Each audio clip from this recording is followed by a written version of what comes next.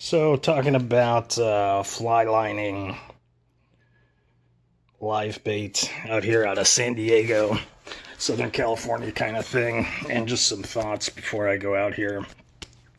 So, they're saying all over the map, a couple days ago, they were suggesting to bring, you know, like a huge rig, 8,200 pound rigs, because they were catching up to 200 pound bluefin. It sounds like it's kind of slacked off in the last couple days.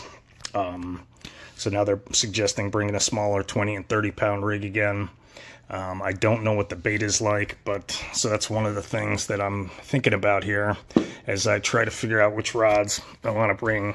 Traditionally, I've always been a fan of using a two-speed reel with mono top shot. Now, what I consider mono top shot is if it's got if it's long enough to go through all the guides and that, then it's a top shot. It's a leader if it's, you know, a short, short section of fluoro. So I usually go mono, you know, some braid backing, mono to, like I said, about a five, six foot leader of fluoro. Um, but so they're talking this year a lot. I've ran into people who are saying just use braid to go through and then, you know, use braid, no mono, and connect uh, the six foot leader directly to the braid. So I'm, I'm, tossing around the idea with that. I think the first thing is um, I can definitely cast better if I use star drag reels. There's no doubt about it. So these guys here, these are all on Seeker rods. I forget what, uh, this is like a 80-20 and a 196 or a 270H.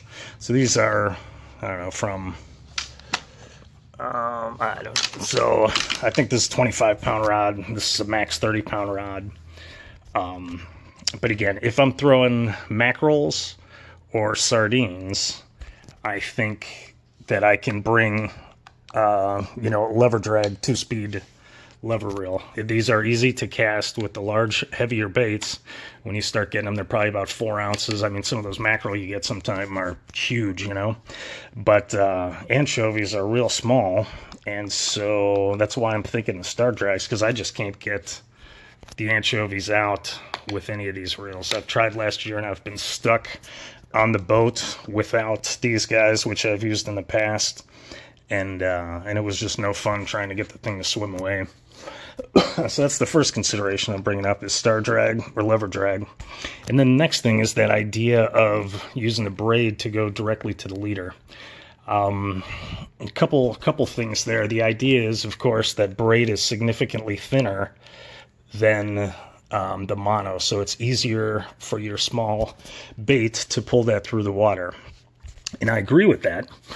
Um, the one thing I worry about is I also have heard and seen mono slides very easily over other mono in the water. So you've got everybody in the corner in a cluster, and you've got 10 people with their rods going out 100 yards, you start reeling in your bait, and a lot of times the mono just slides over the other mono. You don't catch it, you know, you're still, you're gonna, if you've got bait that's swimming around there, you're still at some point gonna snag other people. But uh, the mono definitely slides easier. what I've heard, and I've seen this before in the boat, is the knot where the mono and the braid transition. You get that those kind of little barrels or footballs, right? Depending upon what kind of knot you tie. Um, I usually tie uni uni or um, uh, FG, but I don't tie FGs on the boat too much. But anyway, so you get that little barrel there, and I've seen that barrel come across and you know right before it gets to the leader snag on somebody's line and then you wind up pulling one line in and then you wind up you know pulling two in and you get you know stuck in those clusters. And so that's that's not good for anybody right? You want to maximize your you know bait time in the water. So i'm kind of torn. I think i'll give it a try tomorrow. Um, i'm sure with coronavirus uh, you know the boat's not going to be as crowded as it has been going on a one and a half day i think on the Pacifica so again, I'll look back at this and, and maybe try to see what uh, what I ultimately came with. But good luck fishing, everybody. Thanks.